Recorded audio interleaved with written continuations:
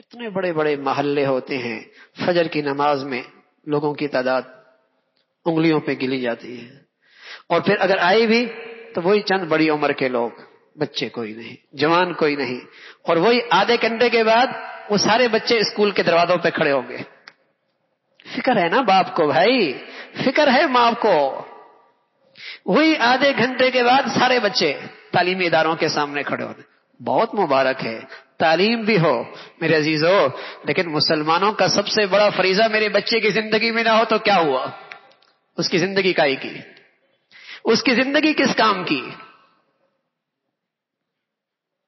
नमाजी है बाप, लेकिन उसके जहनों में नमाज़ की वाजमत अहमियत नहीं। नमाजी है बाप, लेकिन उसके दिलो दिमाग में नमाज़ की अजमत अहमियत नहीं। इसलिए कि बच्चा है, अगर मोहब्बत है तो इतना बड़ा फरीजा और यूँ वो आग में जलता हुआ ज़िंदगी गुजार रहा, बड़ा हौसला है। उसकी नहूसत उसकी नहूसत, उसकी निजासत, उसकी ज़िंदगी का हिस्सा है कहा उसकी ज़िंदगी मुबारक हो सकती। ये ऐसा फरीजा है। बादशाहों का बादशाह का तो एक इरशाद भी काफ़ी है ना?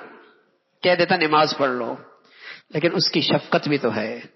उसकी रहमत भी तो है, अपने बंदों से उसकी मोहब्बत भी तो है। एक मरतबा नहीं कहा, सत्तर से जायद बार कहा नमाज़ का एहतमाम करो। सत्तर से जायद बार कहा नमाज़ का एहतमाम करो। इतना बड़ा हुक्म है,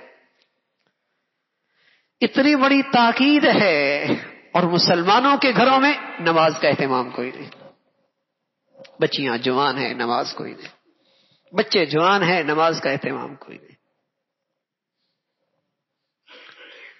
तो मेरे अजीजों, इस्लाम में अगर नमाज़ कोई नहीं तो मेरे नबी ने बताया, ला सहमा फिल इस्लाम, इसका फिर इस्लाम में हिस्सा भी कोई नहीं। इसका फिर इस्लाम में हिस्सा भी कोई सर कोई नहीं तो जिसम है तो ज़िंदगी कोई नहीं। नमाज़ इस्लाम में सर की तरह है। वो कोई नहीं तो इस्लाम कोई नहीं। इतना बड़ा फरीजा मेरी ज़िंदगी में, मेरी औलाद की ज़िंदगी में कोई नहीं। तो मेरे अजीजों, उसकी शख्सियत कैसे इस्लाम पे खड़ी हो सकती है?